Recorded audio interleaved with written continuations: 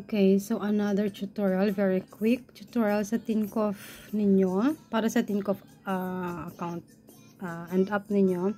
So, for those na hindi nakapag-check ng uh, currency account nung nag-apply kayo ng um, Tinkoff card, kasi meron na pinipili ruble, uh, dollar, and um, euro by default, pwede nyo i-check yon Or kung gusto nyo ruble lang, it's okay also. Pero kung ngayon, if you want another currency, pwede nyo, yung, pwede nyo gawin ito sa app. Where? So, uh, open nyo yung app nyo, and then, uh, okay, open. And then, dito ang inyong landing page, landing, uh, uh, so ito yung tab, main tab. Kita nyo uli yung name nyo nasa taas, and then scroll down kayo sa baba, And then, ito uling yellow at crit no wish at product. Okay? And then, makikita nyo dito, Zakazat Dop Karto. This is um, order um, extra card or this is card extension. Later yan. Ito yung um, the Babit value to add currency. So, add currency tayo. So, ako, since meron na akong dollar and euro and uh, yuan, Okay, so I will add GBP. Okay.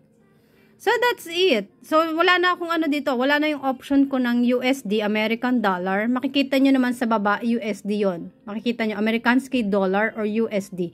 So, yun ang i-choose ninyo. Usually, nasa taas yon.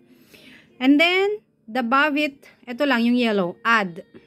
Add, uh, so sa akin, Funti Sterling Goff.